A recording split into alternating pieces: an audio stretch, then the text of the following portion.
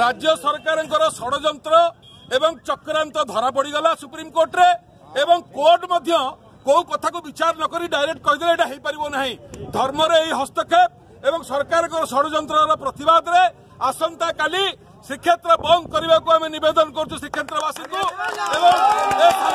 বন্ধু সমস্ত সহযোগ করা আমি নিবেদন করছু আমার লড়াই শান্তিপূর্ণ হওয়া দরকার রথ গড়া দরকার ଏବଂ ସରକାର ବିରୁଦ୍ଧରେ ସ୍ୱର ଆଗକୁ ଯିବା ଦରକାର। ଯଦି ଅନ୍ୟ ଜିଲ୍ଲାବାସୀ ଚାହିଁବେ ତାଙ୍କ ଜିଲ୍ଲାକୁ ସେ ବନ୍ଦ କରିବେ। ଆମେ ହାତ ଯୋଡ଼ି କହୁଛୁ ଆସନ୍ତାକାଲି କାଳିଆ ସାନ୍ତଙ୍କ ରଥ ଗଡ଼ିବା ଦାବିରେ ପୁରୀ ବନ୍ଦ ସଫଳ କର।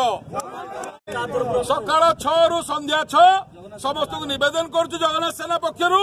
ଦଳ ମତ ବର୍ଣ୍ଣ ନିର୍ବିଶେଷରେ ସମସ୍ତେ ବନ୍ଦକୁ ସଫଳ କରନ୍ତୁ। କାଳିଆ ସାନ୍ତଙ୍କ ରଥ ଗଡୁ ମଦ ଦୋକାନ ଖୋଲିବ। ମାଛ ହାଟ ଖୋଲିବ ମାଉଁସ ହାଟ ଖୋଲିବ ପରିବା ହାଟ ଖୋଲିବ ବସରେ ଫୁଲ ସିଟରେ ଲୋକ ଯିବେ ଚାଇନା ସାଙ୍ଗେ ଇଣ୍ଡିଆ ଲଢିବ ସେଇଟା ହେଇପାରିବ ଏଇଟା ହେଇପାରିବନି।